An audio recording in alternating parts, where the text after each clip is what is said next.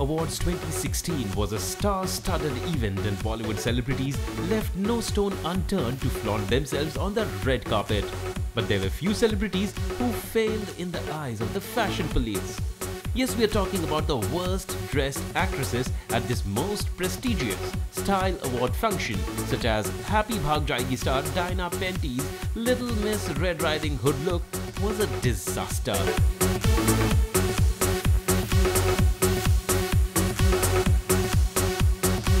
Aamir Khan's wife Kiran Rao looked pathetic.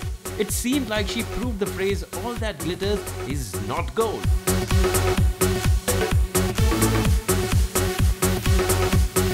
The Parched actress Radhika Apte and Surveen Chawla could have done a little better instead of playing suits.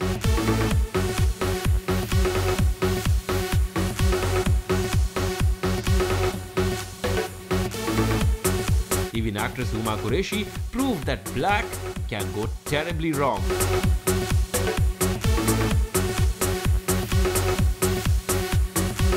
Last but not the least, Jaya Bachchan was draped in an orange traditional embroidery sari.